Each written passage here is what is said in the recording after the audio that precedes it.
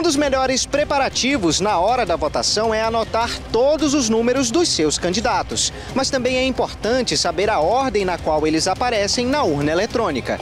Primeiro, candidato a deputado federal, com quatro dígitos. Depois, o seu candidato a deputado estadual, com cinco dígitos.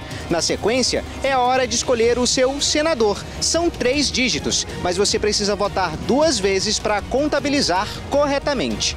Na sequência, é o momento de escolher o seu governador. São dois dígitos. E por fim, o presidente da República, também com dois dígitos. Aqui no Amazonas, o horário de votação no dia 2 de outubro é das 7 da manhã até as 4 horas da tarde. É inovação, é compromisso com a cidadania. É o Grupo Norte de Comunicação nas eleições 2022.